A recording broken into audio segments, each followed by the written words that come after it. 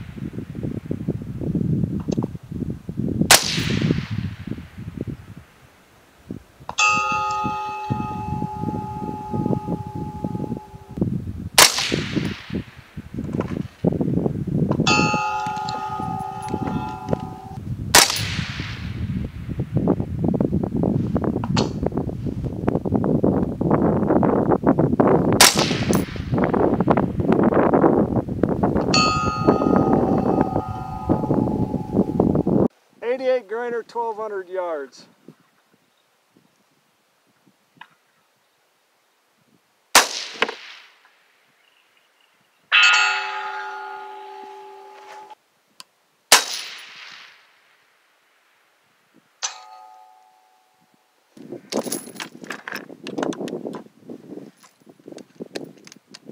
Here comes the wind back.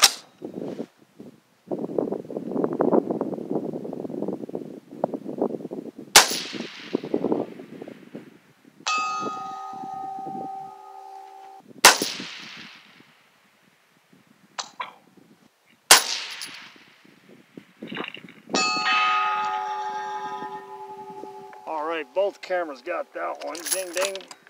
How's the wind picking up?